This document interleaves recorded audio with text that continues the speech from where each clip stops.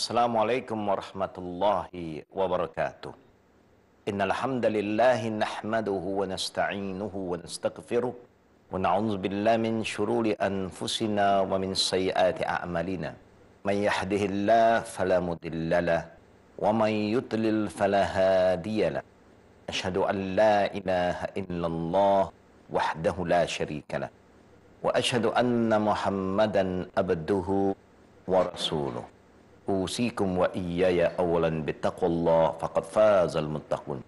Dear brothers and sisters in Islam, Alhamdulillah, with the will of Allah subhanahu wa ta'ala, we are able to be alive again today.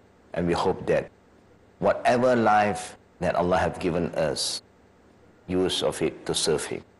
It is important for us as parents. We are talking about parents because parent is the one who is going to bring up the children. And the upbringing of children depend on the righteous parent. We all want to be good. We want to have a good life. We want to be a good father. We want to be a good leader, inshallah. We want to have good children. When we have children, we do not just want to have any children, but we want to have righteous children. Now, this is very important in our life because if we don't have righteous children, we are going to suffer. The children will make us suffer. Now, to make sure that inshallah we have righteous children, good children, good offspring, the first important thing that Islam reminds us to do is make sure that you choose the right partner in your life. That's rule number one.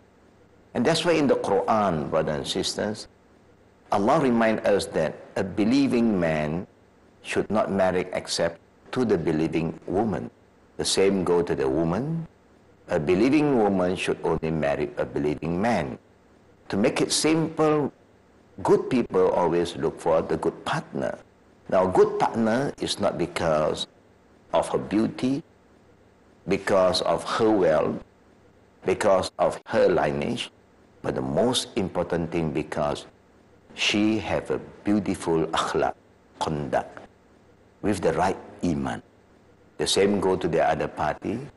A good man is not because of his wealth, because of his look, because of his lineage, but because of his moral conduct.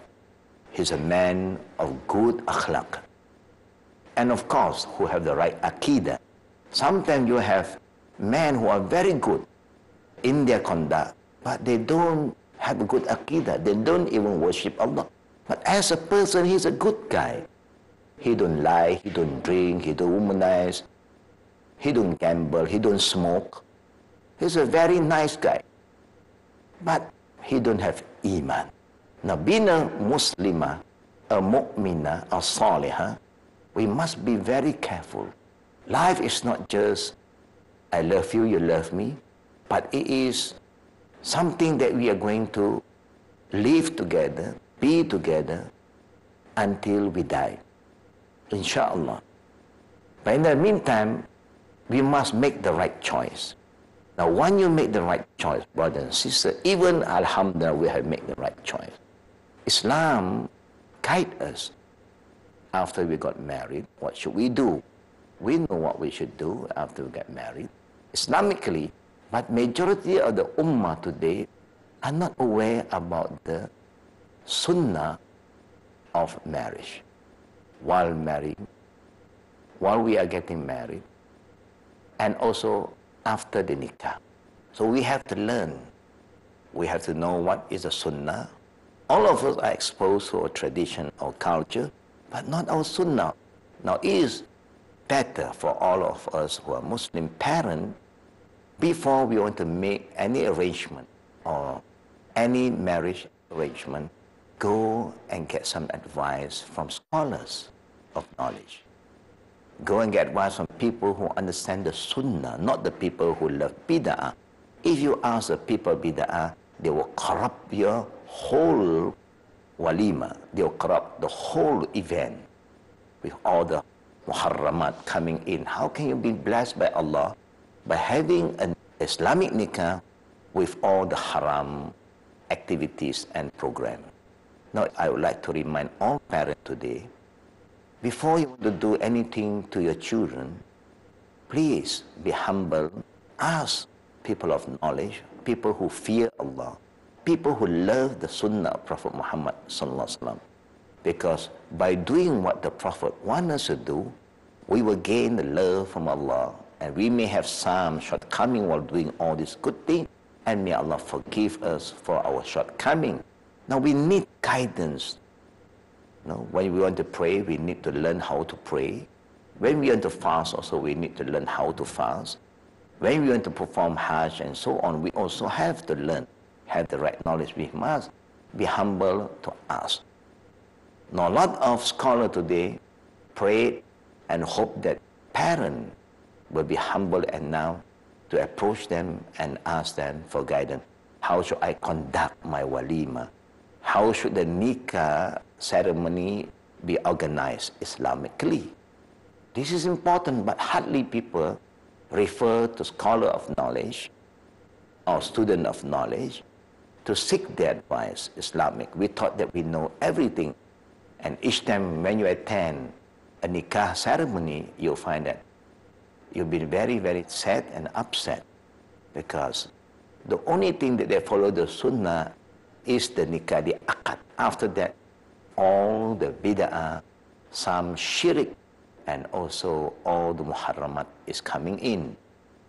Now, how can we you know, get the blessing if we are the beginning of our children's married life, they are exposed to all the haram things. Be simple, brothers and sisters, because Allah loves simplicity. In yuhibbu bazaza, you know.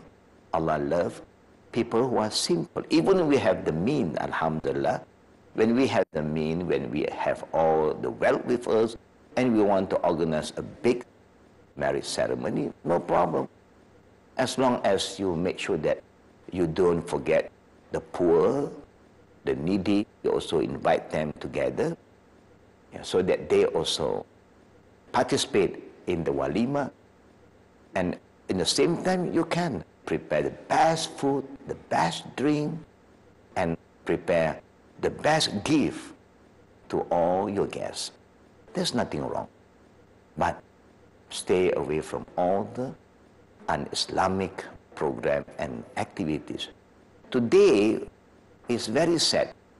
There is so-called a group of people who commercialize the whole marriage ceremony. They are coming to you and say that we are the marriage planner. Don't worry, give us all your photos from the day you were born. Even if it's a black and white photos, is better. And we are going to come up with a special kind of performance, presentation expose all of you to the public, to everybody who attend the nikah ceremony, the walima. And now they're going to show what you do when you're small. Even sometimes you expose your aura, and sometimes there are times that you just got to know each other when we do a lot of haram activities, courting. We know that courting is not allowed in Islam without a mahram. But this is very normal to our children lifestyle today. They show it to the public that you are so proud as though as you are happy committing the sin. We know that all these things is wrong. And we have been doing it because of the weakness of our iman. So we should conceal it. Don't expose it anymore. The past is the past. We have to start a new life. Now we are going to get married and make it halal. So whatever relationship before this that is haram, you should not be proud of it and show it to the public. So be careful, even all the photographers who come for the marriage ceremony, you must control them. Always don't let these people control you. You know, sometimes they want you to kiss each other in front of the public. How can you do that? Kissing, I mean, this is your wife, this is your husband, there's nothing wrong for you to love each other, but you don't do it openly. And someday, oh, one more time, one more time, one more shot. You must have control, brothers and sisters. Have shyness. Al-haya min al-iman. Because shyness is part of Iman. You see what's happening to us? Our parents, you know, forget all the good thing about the do and don't. And the children, of course, those who are going to be a bride and a groom, of course, they wouldn't be able to control a lot of what is going to happen because everything is being organized by parents. We parents. Now, if you want righteous children, you must know what is right and what is wrong to do when you want them to get married because you want Allah's blessing. And after that, we also hope that our children are being informed, being guided to ask Allah for protection and also to thank Allah subhanahu wa ta'ala that now they are both legally husband and wife. Now, after doing that, there's nothing for us to be ashamed as a father or a mother to remind our children what they should do when they want to get close to each other and also what to say. Inshallah, after the short break, we will see you again.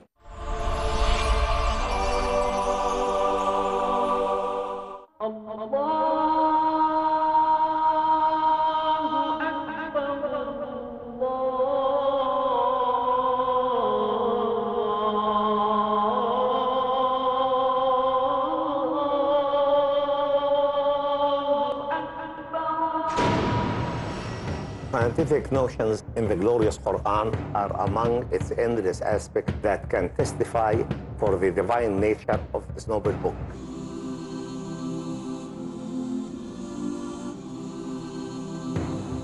These scientific notions are probably the best addressed to the people of our time.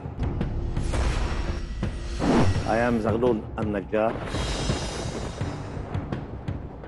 Please join me in this program to discuss some aspects of the scientific notions in the glorious Quran.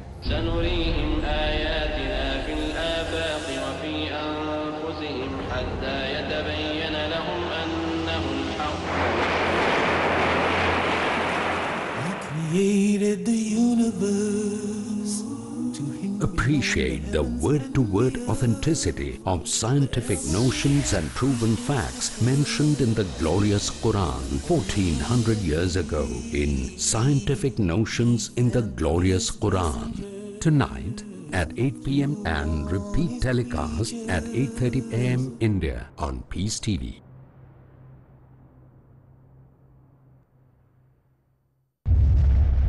Marriage or divorce? What's Islamic ruling? Nikah. Solution or problem? Heaven or hell? Uh, there is a misconception. You choose. Beauty, wealth, family status, virtue. Decide what you want Decide your choice. Be sad or be happy. It's your choice. Join Dr. Zakir Naik in Better Half or Bitter Half every Friday at 6.30 p.m. and repeat telecast at 9.30 a.m. India on Peace TV.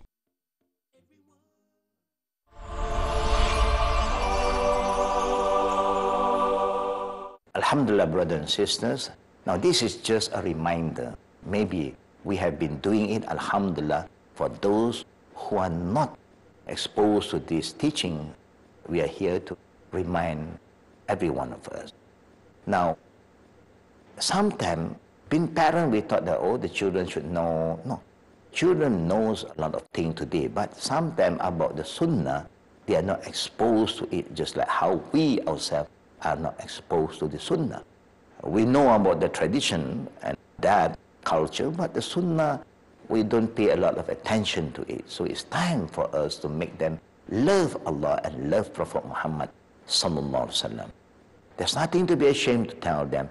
When you want to be together at night, make sure that you seek Allah's protection from the whisper of the Satan and also may Allah protect their offspring from the whisper of the Satan.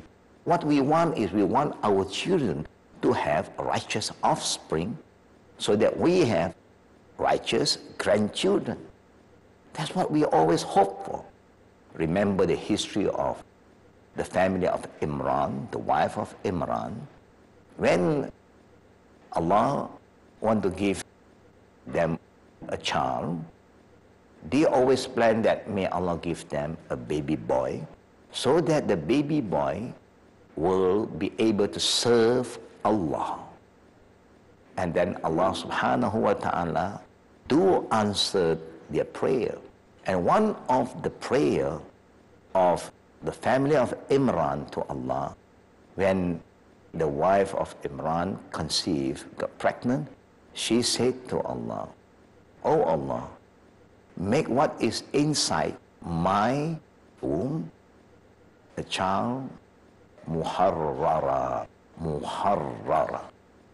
Look at the niyat, the intention of the wife, the parent. They do not just want to have any child, and they pray, may Allah give them a child that, inshallah, they want this child to serve Allah, to be free from dunya, and be the servant of Allah subhanahu wa ta'ala. Not like us today, when we want to have any children, we always want beautiful daughter or handsome son, maybe look like this star, that star. We forget to ask Allah to give us righteous children. We don't even have the intention to say, Inshallah, I want my child to be mukhlisin, mu'minin. No. We just want to have baby. That's what we want. That's why Allah gave us just a baby. What we have to do, brother and sister, from the beginning, we should be humble enough to ask Allah and make sure that our intention that when Allah gives us any children, the upbringing of the children is to make them strong Muslim children, a mu'minin or mu'minat, or salihin or salihat, or qanitat, all the good things that Allah wants us to have. That's what we must plan for our children. Of course, all of us have their own idea. Inshallah, I'm proud if my children in the future become a doctor, maybe a educator, maybe a motivator, maybe become an engineer. So many dreams we have for our future children. But how many of us really ask Allah to make our children righteous children? Zuriyatan salihah. Very little. Maybe we just forget about all this good thing. Because we do not ask Allah, that's why we have to struggle. That's why a lot of parents are suffering today. So brother and sister, we hope we understand the importance to make sure that we guide our children and we also teach them to make the right choice and teach them the dua. And when you teach them the dua, inshallah, if they apply it and they have the niyat from day one that if Allah will grant them with an offspring, the upbringing of the offspring is to serve Allah. Now to serve Allah, it now means that you just want them to memorize the Quran, be a qari, be a you know a person who are very devoted to Allah, and forget their responsibility towards others. No. You want them to be a doctor? Alhamdulillah. Be a doctor with Iman. You want them to be an engineer? No problem. But an engineer who have Iman. Not a doctor or an engineer who kufr, who disobey Allah, who deny Allah, who is proud. Not that kind of doctor. So that inshallah our children, with the knowledge that Allah give them, they are going to make use of this knowledge to serve the people for the sake of Allah. They become a humble doctor, a doctor that is always there to serve the public who need his help, not only thinking of dollar and cent.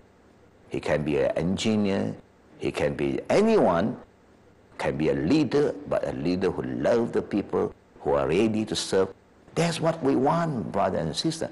Because if you have this kind of children, Allahu Akbar, MashaAllah, this is the best gift that Allah have given us. But you must ask for it. And a lot of us ask for righteous children. But how about ourselves? Are we righteous enough? So we must set a good example for them. If you want our children to learn Quran, we must also know how to recite the Quran. If you want the children to always remember Allah, every morning, every evening, while standing, while sitting, while sleeping, wherever they are. We also, as parents, must remember all the azkar.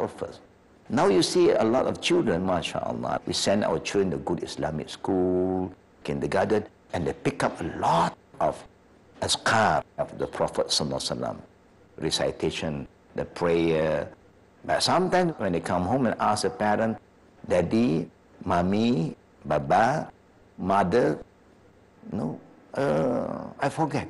The teacher remind me to make a dua when going into the washroom and coming out from the washroom. But not, I have forgotten.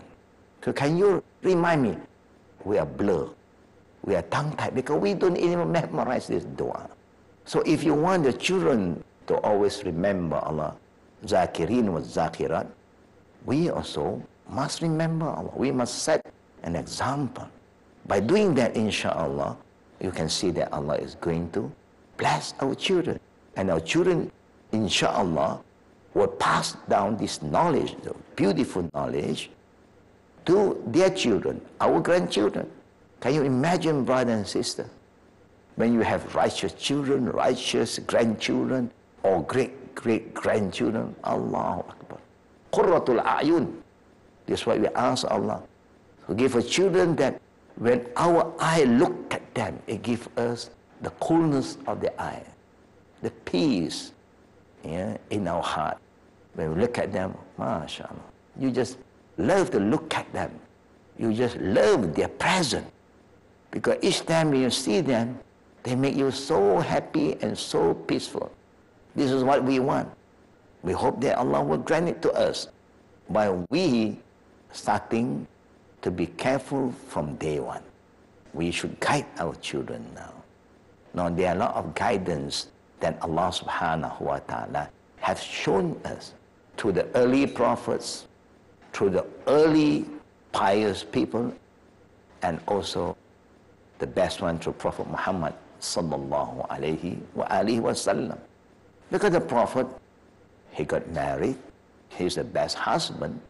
All of us are aware of that the Prophet wasallam, he have children. And look at the upbringing of the children. The Prophet is known in history. One of the most pious lady also is Fatima radiallahu anha. Fatima, all of us know who is Fatima. And see, because of Fatima, the Prophet measured with Ali, one of the righteous person, and see what happened? The Zuriyat is Hassan and Hussein. The Prophet's grandchildren is Hassan and Hussein. And later on from this family lineage, we have a lot of good people, good Zuriyat. Now this is what I'm trying to share with all the parents today. I know we love our children, especially our grandchildren. But please, don't spoil them most of the time grandparents spoil their grandchildren because in the beginning of our life, we don't give a lot to our children because we are also struggling.